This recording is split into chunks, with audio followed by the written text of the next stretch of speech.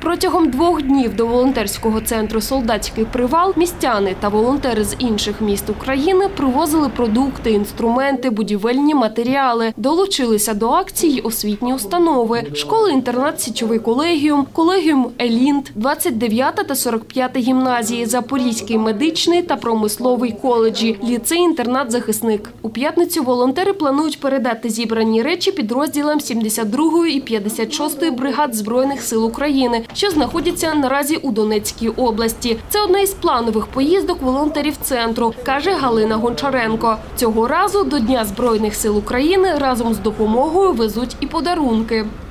У них є достатньо конкретний великий список на- нагальних і дуже дуже нагальних потреб. Те- Те, що вони не можуть там е, десь знайти саме або, або зробити саме, і тут е, потрібна наша допомога. Тому вони нам ці списки.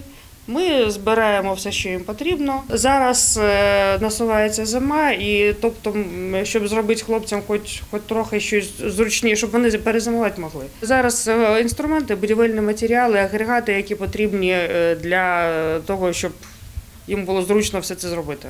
Волонтерський центр Солдатський привал діє вже 5 років. За цей час потреба у допомозі волонтерів на фронті не зменшилась, зазначає Галина Гончаренко. Змінились е, потреби в деяких позиціях, так сказати.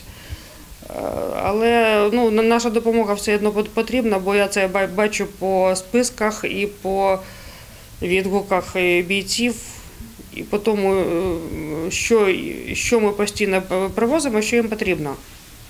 Ну, по- поки що без нас чомусь вони не обходяться, бо нема забезпечення такого. В е, медичних там засобах є велика потреба, і е, щось з е, медикаментів я стараюся завжди вести. Майстер ремонтної роти 53-ї механізованої бригади Богдан Колодін приїхав до Запоріжжя, аби відвідати військомат. Каже, залишився переночувати у солдатському привалі на одну ніч і вже завтра повернеться на службу. Я на контракте э, на три года подписал контракт. Я на контракті вирішив служити, аби захистити мати та всю свою родину. Зазвичай служу в Донецькій області. Завтра приїду до бригади і на свято з побратимами будемо пити чай, спілкуватися. За роки діяльності волонтери центру навіть встигли подружитися з деякими бійцями, каже психологиня та волонтерка Людмила Волтер. Це такий е, момент довіри.